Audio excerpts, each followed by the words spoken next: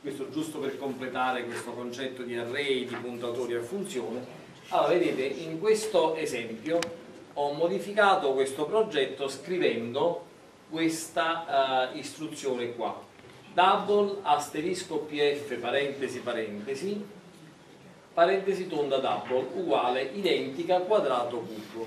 Quindi con questa definizione io nella prima posizione di questo array di puntatori a funzione ho scritto identica ma identica che cos'è? è il nome di una funzione che ho scritto io cioè l'indirizzo di memoria dove comincia quella uh, funzione. La stessa cosa vale per quadrato, la stessa cosa vale per cubo. Uh, all'atto della chiamata, vedete, io posso utilizzare direttamente la variabile scelta che ho usato nel menu, che contiene i valori 1, 2 e 3, per richiamare il, il puntatore.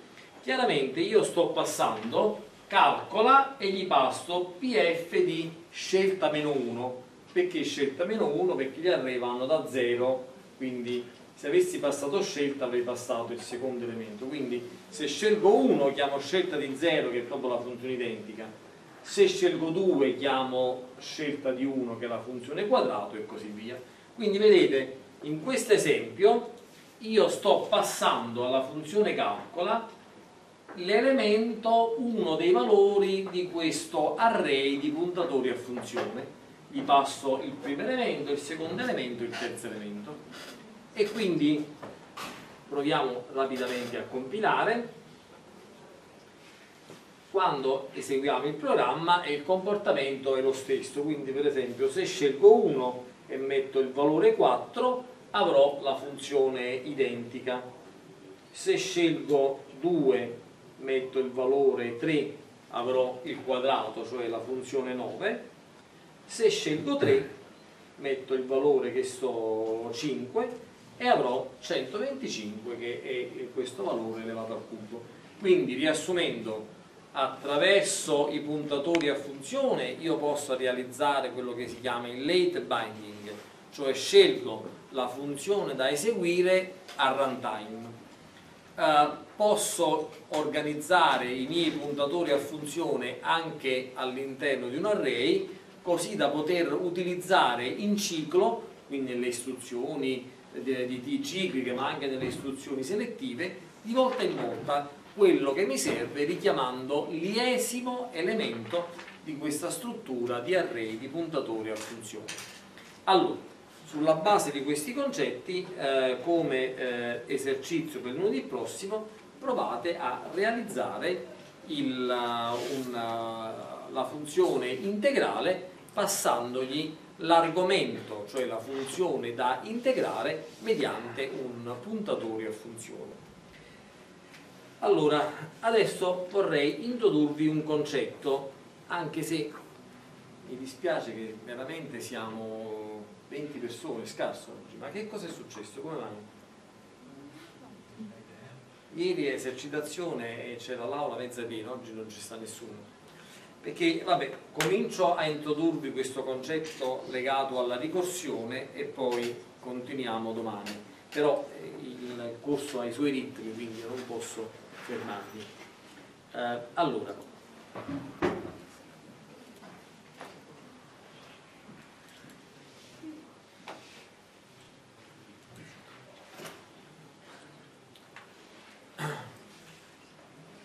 una uh, figura di programmazione fondamentale eh, ormai presente in tutti i linguaggi di programmazione è il meccanismo legato alla ricorsione.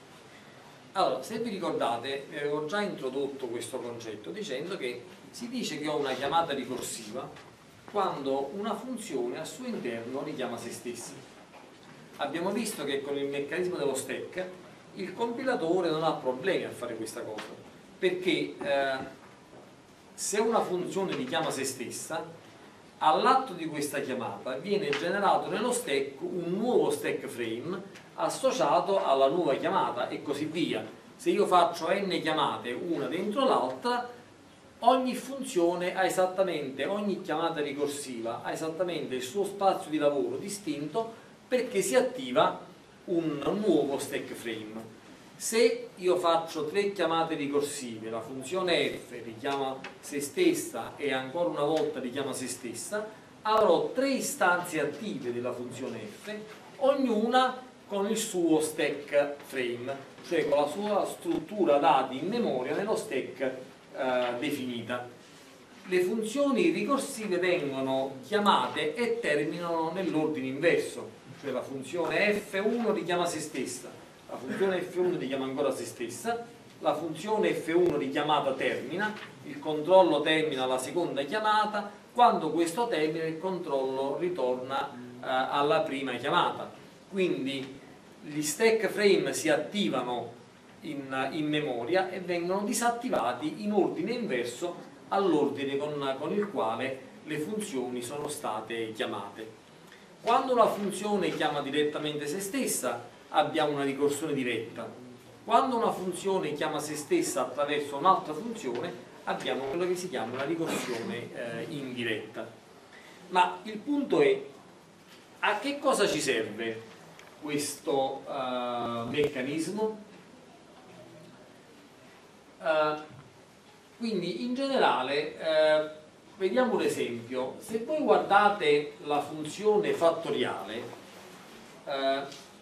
io posso dire che questa funzione viene definita in modo implicitamente ricorsivo perché posso dire che n fattoriale lo potrei scrivere come n per n-1 fattoriale. Quindi la definizione del fattoriale di n è uguale a n per il fattoriale di n-1 quindi questa definizione è già implicitamente eh, ricorsiva devo mettere un punto fermo però perché altrimenti questa cosa non si chiude. E quindi ah, dirò che questo è vero se n è maggiore o uguale di 1 per n uguale 0 il fattoriale di 0 è proprio 1 il fattoriale di un numero negativo non è definito.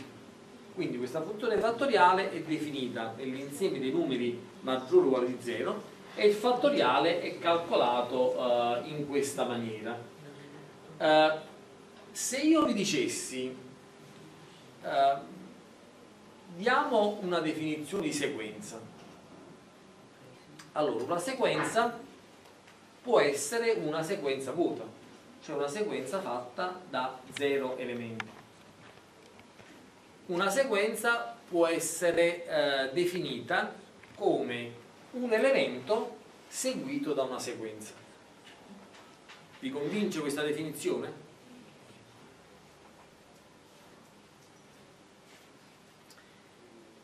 Vi convince il fatto che per definire una sequenza vi servono tutti e due questi concetti? Perché io posso definire, se io vi do la definizione generica, una sequenza è una sequenza di interi è un valore intero seguito da una sequenza. Allora, questa definizione le comprende tutte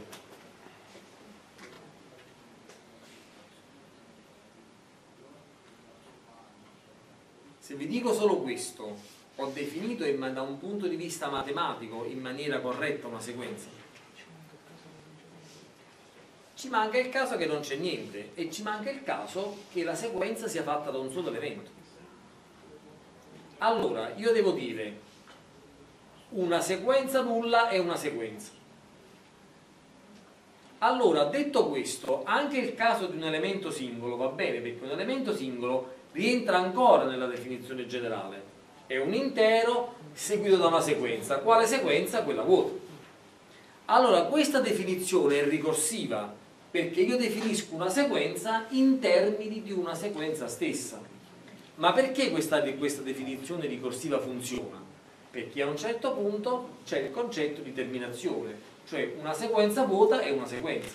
Allora, tutti i casi possibili rientrano in questa definizione ricorsiva. Beh, allora ragazzi, noi abbiamo trattato lungamente le sequenze. Gli array li possiamo guardare come sequenze. Allora, un array a sua volta può essere visto mediante una definizione ricorsiva. Il concetto è che eh, se una struttura dati ha, può essere definita in modo ricorsivo, allora le tecniche ricorsive si applicano molto bene a questa struttura dati. Proverò a convincervi di questo con qualche esempio tra un attimo. Quindi diciamo che eh, parlando di ricorsione io posso definire delle strutture dati direttamente in termini ricorsivi, però facendo attenzione di eh, indicare quello che si chiama un caso base. Il caso base è che 0 fattoriale non è definito in termini di, meno, di 0 meno 1 fattoriale. 0 fattoriale è definito in modo preciso, vale 1. Una sequenza che io definisco come un intero e un'altra sequenza è definita in modo ricorsivo, però ci vuole poi un concetto finale. La sequenza vuota è la sequenza fatta da zero elementi, punto. Non è che la sequenza vuota è fatta in termini di qualche altro concetto legato alla sequenza la sequenza vuota è una sequenza di zero elementi, punto, è una uh, definizione chiusa. Attraverso questa definizione e il concetto più generale che una sequenza è un intero seguito da una sequenza, posso dare una definizione di una sequenza di una lunghezza generica di elementi. La ricorsione eh, ci sono molti concetti che noi definiamo in maniera eh, ricorsiva. Eh, per esempio la storiella della filastrocca dei bambini. C'era una volta un re seduto sul sofà che disse alla sua serva raccontami una storia e la serva cominciò c'era una volta un re seduto sul sofà e questa definizione ci porta proprio chiaramente al concetto di ricorsione. È un po' come guardate il gioco degli specchi quando abbiamo uno specchio affacciato a un altro specchio si riproduce all'infinito. Lì non vediamo la terminazione. Guardate per esempio questo concetto estratto dalla natura. Qui abbiamo un albero fatto da foglie, ma ogni foglia, ma ogni, ogni ramo è a sua volta fatto da foglie. Se guardiamo questa è esattamente la stessa forma dell'altro e potremmo eh, andare avanti, eh, quindi eh, guardando, ma questo capita molto spesso in natura, le strutture si ripetono e la struttura che si ripete ha una forma esattamente identica a quella della struttura più grande, quindi se noi esplodiamo ogni singolo elemento abbiamo esattamente la stessa forma che avevamo al passo precedente in forma più grande. Eh, il principio dell'induzione, qui entriamo su un campo che per voi è noto dal punto di vista matematico. Io posso dire che eh, eh, il principio di, di, di induzione mi dice che se P è una proprietà che vale per un certo K appartenente a N. E se io affermo che se la proprietà P è vera per N questa è anche vera per ogni per n più 1 per ogni n maggiore uguale di k allora io posso dire che P vale per ogni n appartenente a n grande con n maggiore o uguale di k ragazzi vi convince questa cosa che sta scritta? come faccio a verificare che è vera?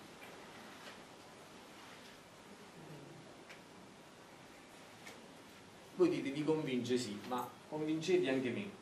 Provate voi a parole a convincermi che questa roba è vera. Come me la dimostrate? Si fissa una partenza, si vede per il successivo, applicando il fatto che era vera per il numero di partenza, se è vera per il successivo applicando la, base, la, la cosiddetta base di induzione, lo faremo per tutti naturali. Vi ha convinto? Che cosa si dimostra per induzione? Qual è la tesi? Quando voi dite un, un teorema, dite teorema, tesi, ipotesi, tesi, dimostrazione. Quali sono le ipotesi, la tesi e qual è la dimostrazione? Questo è il punto chiave. Se mi capite bene questo, mi capite anche la ricorsione come algoritmo.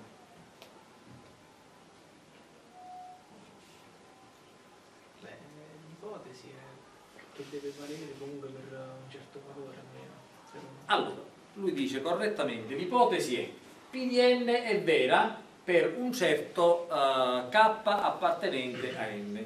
Questo lo do per ipotesi. Qual è la tesi? Che vale per ogni n. Per dimostrare che vale per ogni n, che devo dimostrare? Che vale per il successivo di K.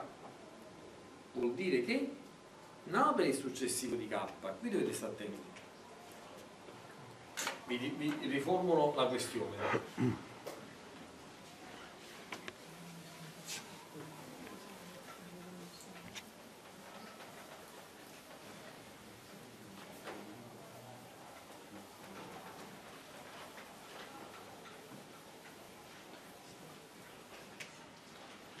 io voglio dimostrare che ho una certa proprietà in funzione di un parametro n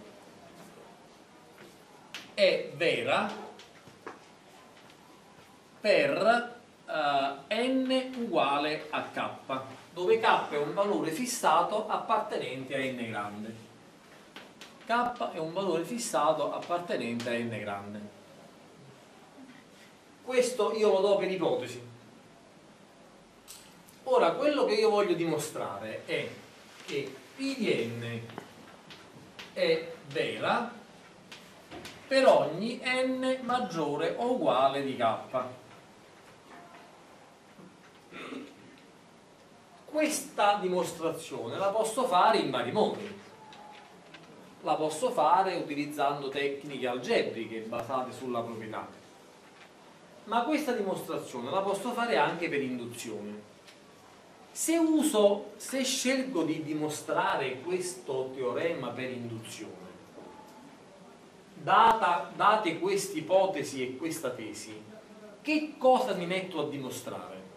Mi metto a dimostrare che PDL è vera per ogni n maggiore di K? E che cosa dimostro?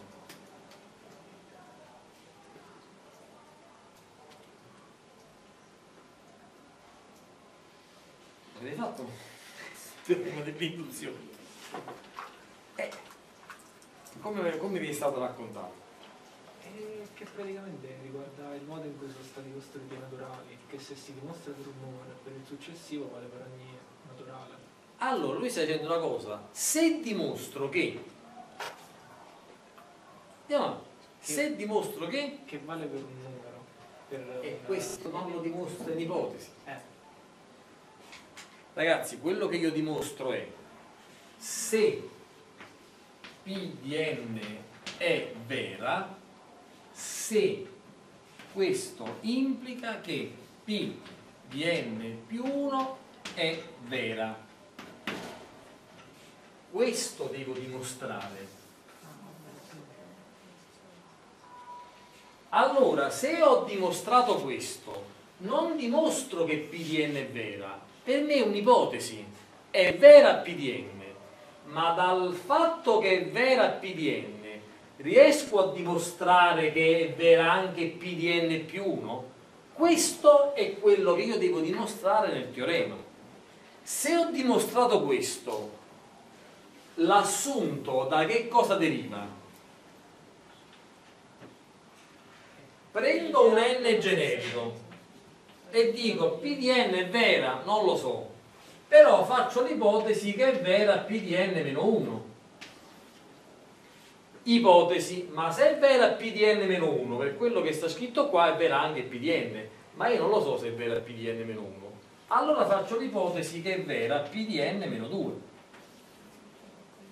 Se è vera PDN-2, per quello che sta scritto qua è vera PDN-1 ma se PDN-1 è vera per quello che sta scritto qua è vera pure PDN ma io non lo so se PDN-2 è vera ipotizzo che sia vera PDN-3 e ripeto la stessa catena ma andando all'indietro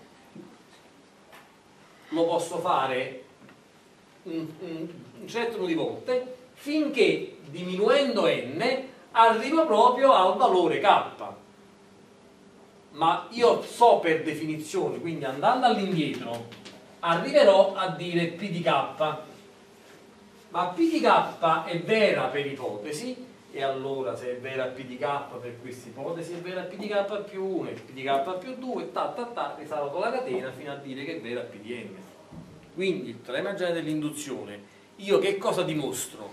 non dimostro la proprietà devo dimostrare solo che ipotizzando vera P di N è vera anche P di N più 1 questa è la dimostrazione del, del teorema generale dell'induzione questo ci dice che io posso andare all'indietro fino al valore k. Quando ho trovato che questo è vero risalgo la catena per questa ipotesi ho dimostrato che P di n è vero. Allora quando si fa una dimostrazione per induzione non si dimostra la proprietà. Si dimostra un'altra cosa.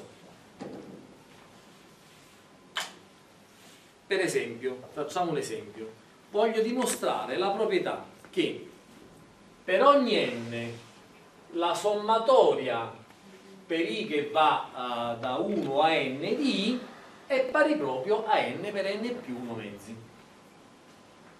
Come la posso fare questa cosa? La posso fare in vari modi. La posso fare in modo geometrico, la posso fare in modo algebrico. Ho vari modi per dimostrare questa proprietà un modo uh, per dimostrare che è vera questa proprietà è il modo per induzione. Allora come faccio a dimostrare che questa proprietà è vera con la tecnica dell'induzione matematica?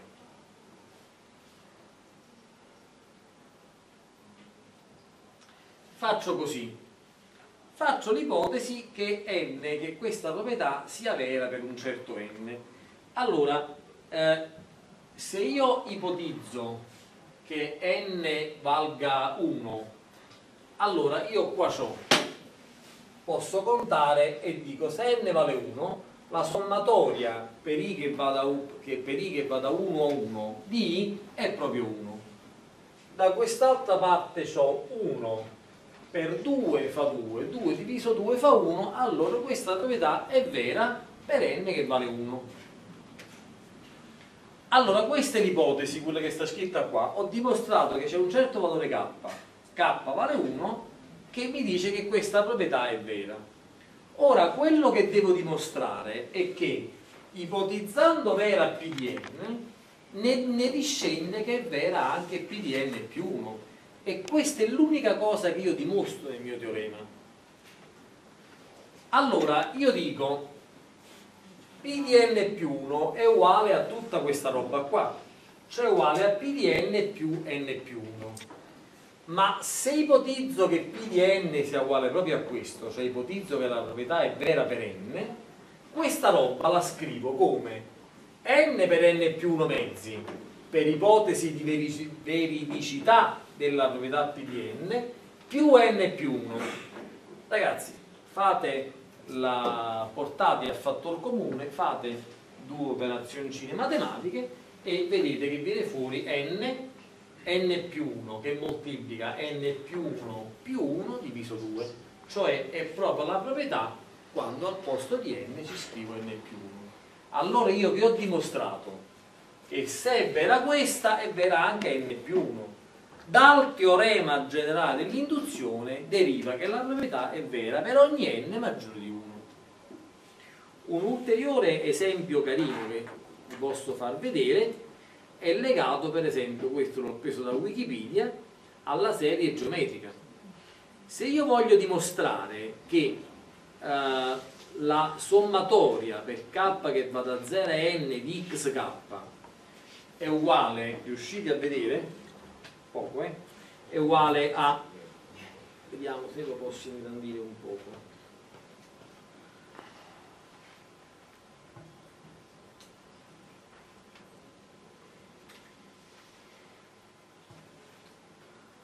la sommatoria per k che va da 0 a n di x elevato a k, questa è la serie geometrica, è uguale a 1 meno x alla n più 1 fratto 1 meno x.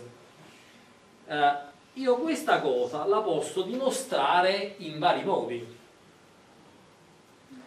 un modo, una prima dimostrazione che viene riportata qua su Wikipedia è quello di moltiplicare entrambi i membri per 1 meno x. Se fate questa operazione, moltiplicando tutta questa roba per 1 meno x, uh, tutti il, quello moltiplicato per 1 vi dà esattamente questa espressione. Per meno x ottengo questa espressione dove, dove è scritto uh, meno x, meno x quadro, meno x cubo, meno x alla n più 1. Quindi i termini x meno x si, si eridono, mi seguite?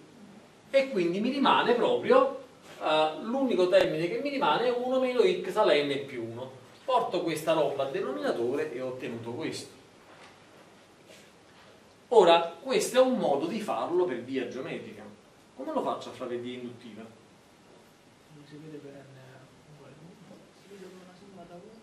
Allora, la dimostrazione per induzione la provo per n che vale 0 e quindi se è vera questa cosa per n che vale 0 sto facendo k che va da 0 a 0 di x alla 0 ma questo è 1 da questa parte se n vale 0 ho 1 meno x alla 1 diviso 1 meno x cioè 1 allora ho dimostrato che questa roba è vera per x che vale, per n che vale 0. Andiamo a verificare se, supponendo la vera per un qualunque n maggiore di 0, io ne, de ne derivo che è vera anche per n più 1. E qua si fa lo stesso giochetto, no? Fate la sommatoria, si, si può dimostrare banalmente che facendo questa sommatoria, io che cosa scrivo?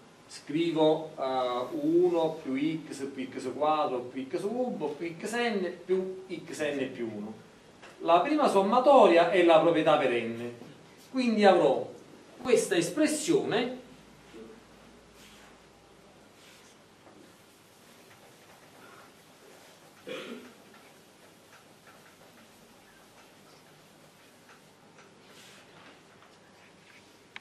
avrò che la sommatoria per k che va da 0 a n più 1 è uguale a 1 più x più x quadro più x alla n più x alla n più 1 questo primo pezzo qua è la sommatoria allora se ipotizzo che è vera la condizione per n Qua che cosa devo dire? Che questo primo pezzo qua sarà uguale proprio a 1 più x alla n più 1, scusate, 1 meno x alla n più 1 fratto 1 meno x più il termine ultimo che ci ho messo, quindi più x alla n più 1.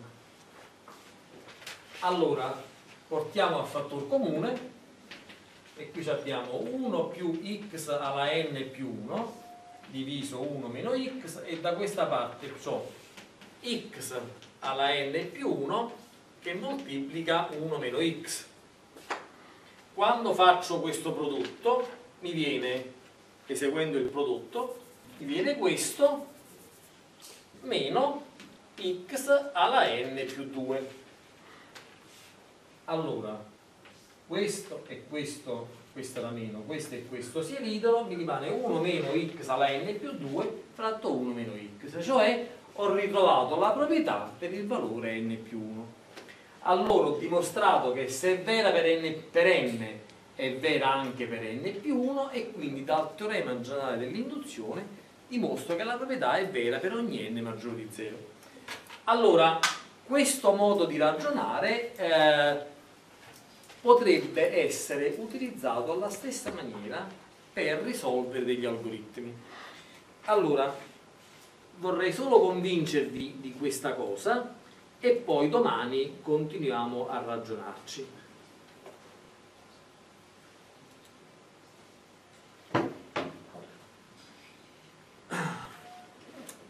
In pratica la ricorsione in programmazione è una tecnica che permette di sottodividere, di uh, suddividere un problema da risolvere in sottoproblemi simili a quello originale. La potenza nasce dalla possibilità di definire un insieme infinito di oggetti mediante una regola finita. Allo stesso modo un insieme infinito di computazioni può essere descritto con un programma ricorsivo finito. Ragazzi, qua non entro nella teoria ehm, sugli algoritmi, perché qua si potrebbe, potremmo dimostrare che eh, utilizzando eh, il, diciamo, la, la, tesi di Turing che un qualunque programma eh, può essere, diciamo, se io ho una forma ricorsiva per un programma, questa, questa forma è, eh, ammette certamente soluzioni, ma non voglio entrare in, uh, in questi aspetti teorici.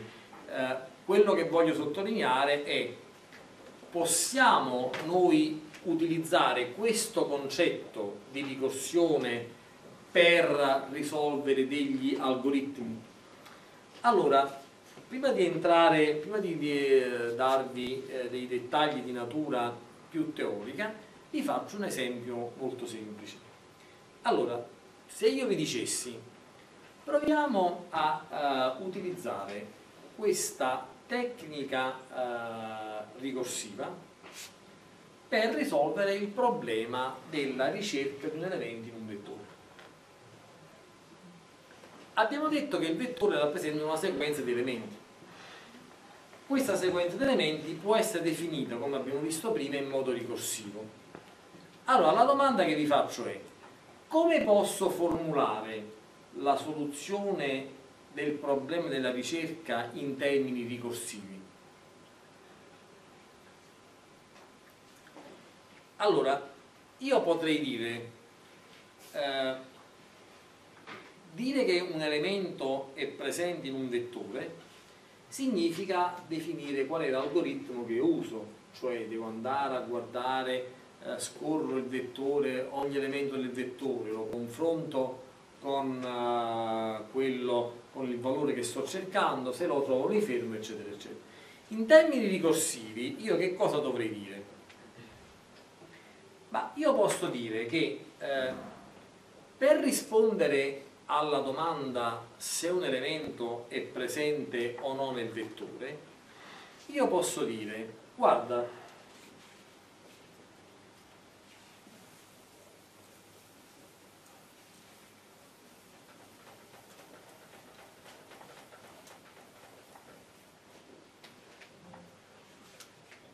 se io sono in grado, supponiamo che il mio vettore sia lungo n elementi, se io sono in grado di eh, rispondere alla domanda, l'elemento che sto cercando è presente in un vettore lungo n-1 elementi? Supponiamo che io sappia rispondere a questa domanda. Allora, se il mio uh, elemento è presente nel vettore lungo n-1 elementi, allora io posso dire sì, è presente anche nel vettore n. Quindi qui il passo induttivo qual è? Avendo la soluzione per il vettore lungo n-1 elementi, io ho la soluzione anche per il vettore lungo n. Allora, a me non interessa sapere come faccio a rispondere alla domanda se l'elemento c'è o non c'è. Io posso dire, c'è un oracolo che mi dice, guarda, nel vettore lungo n-1 elementi, l'elemento x ci sta o non ci sta? Questo mi risponde certamente in modo corretto. Se c'è mi dice sì, se non c'è mi dice no. Allora, come faccio a rispondere alla domanda l'elemento è presente nel vettore lungo n? Allora, supponiamo che io mi scriva la funzione ricerca, scrivo bool cerca, gli passo int v parentesi parentesi, gli passo l'estremo inferiore del mio vettore, int estremo inferiore, virgola, int numero di elementi R, riempimento, e poi gli passo l'elemento x da cercare. Allora, quando io prendo ho questo vettore, io posso fare una cosa molto semplice. Di questo vettore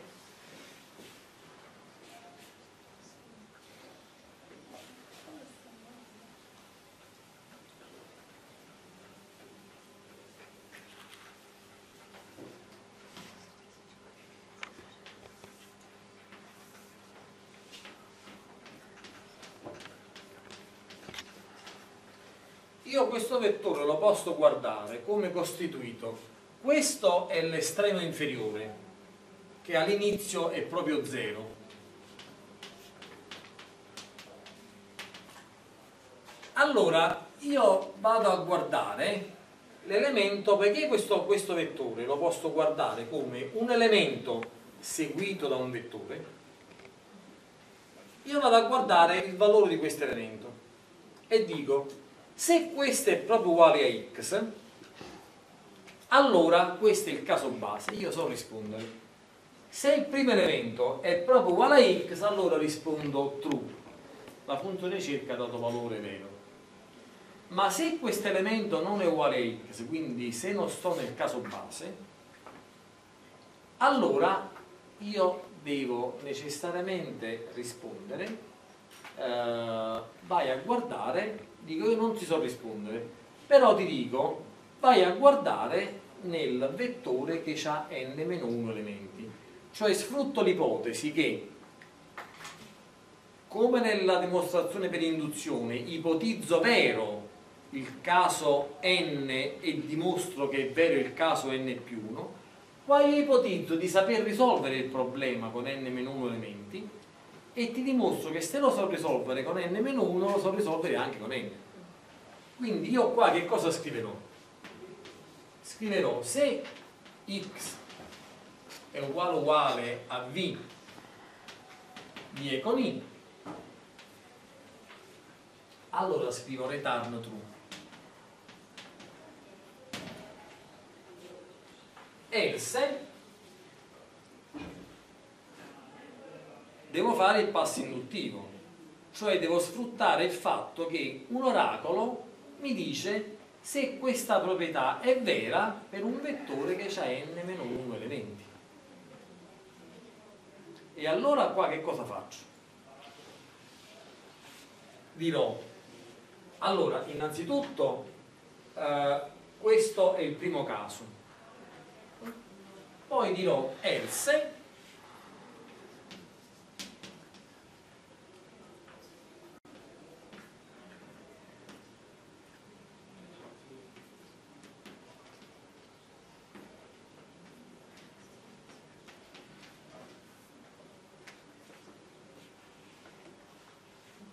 else return cerca v e con i più 1 r meno 1 x.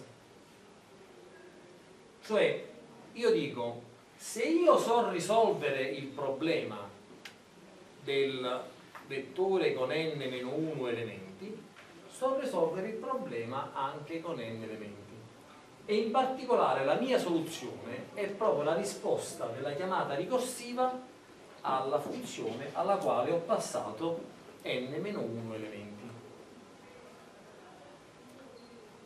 Allora, eh, ci manca un ulteriore caso, che qua io so che la, trovo l'elemento se il mio vettore, se l'elemento è in testa al vettore.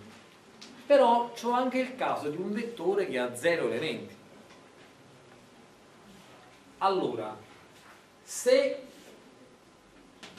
if r uguale uguale 0, cioè se il riempimento è 0, return false, in un vettore nullo l'elemento non ce lo trovo mai.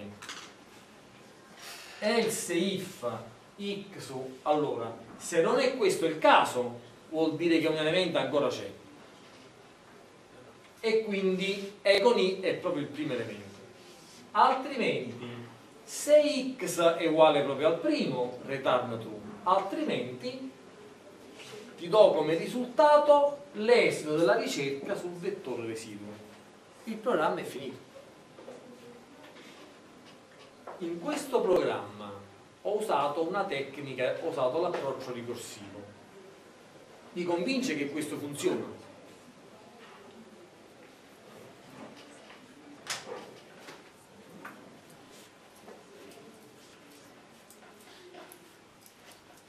Che ne dite?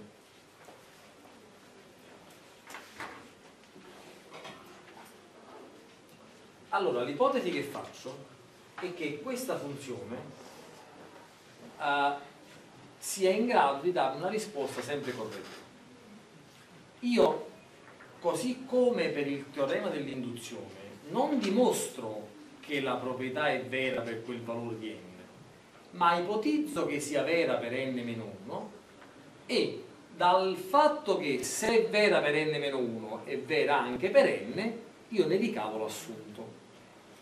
Allora, qui è come se stessi dicendo, guarda, ma scritto così, scritto così, se è vera per n-1, cioè se questa funzione di ricerca mi restituisce true se l'elemento l'ha trovato e false se l'elemento non l'ha trovato, sulla base di questa risposta io posso rispondere se l'elemento c'è anche nel vettore lungo n?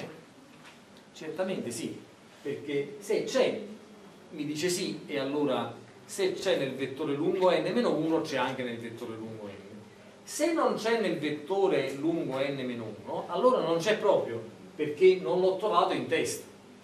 Poiché il vettore è l'elemento seguito dall'altro vettore, se c'è in testa rispondo che c'è, ma se non c'è in testa, allora devo solo chiedermi, c'è nella coda del vettore? Se c'è, allora c'è anche nel vettore, se non c'è, non c'è neanche nel vettore. E quindi io qua che cosa dico? Se il vettore è vuoto, l'elemento non c'è. Se il vettore non è vuoto, guardo il primo elemento, è uguale a x, allora l'ho trovato. Se il primo elemento è diverso, lo vado a cercare nel vettore residuo. Allora, questa tecnica è una tecnica, è la tecnica di ricerca mediante un algoritmo ricorsivo. Io non vado a capire come devo fare. Per me, quando sto cercando un elemento in un vettore, o è il primo, o deve stare nella parte residua, e allora io faccio una chiamata ricorsiva. Ma questa roba perché funziona? Supponiamo che l'elemento io lo trovo in terza posizione allora guardo il primo e non c'è. Il vettore vuoto no. È il primo elemento no. Richiamo la funzione cerca passandogli. Quando ribatte la funzione cerca che cosa fa?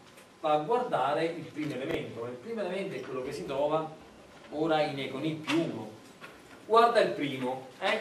no. Allora lo richiama con econi che vale 2 è il primo? no. Lo richiama con econi che vale 3 è uguale? sì allora questa finisce e mi restituisce true vado alla chiamata ricorsiva precedente e mi restituisce true torno alla prima chiamata e mi restituisce true restituisce true a tutto il programma è finito. Allora quello che vi farò vedere domani perché adesso è tardi facciamo la sequenza di chiamate ricorsive. In pratica ogni qualvolta io richiamo la ricorsione si attiva un'istanza ricorsiva col suo stack frame messo nel, nello, nello stack e io vado avanti con le chiamate ricorsive. Ma prima o poi una di queste chiamate termina perché?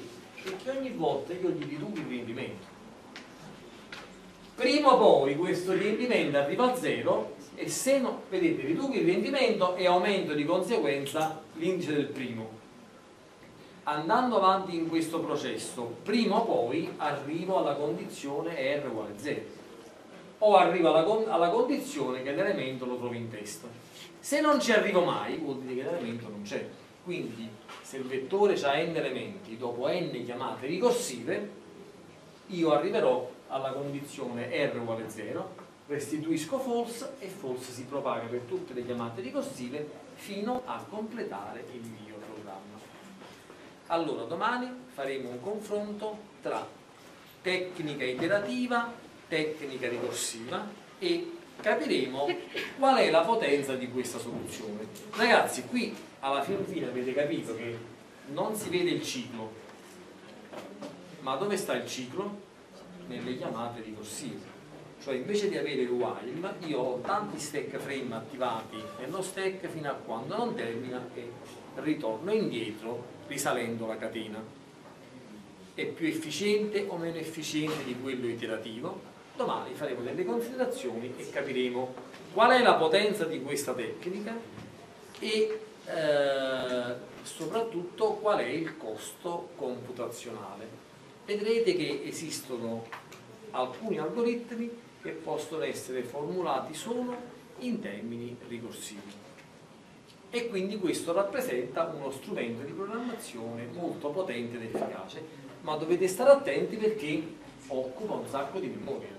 Perché a ogni chiamata ricorsiva c'è un pezzo di stack che viene riservato per quella funzione. Va bene ragazzi ci vediamo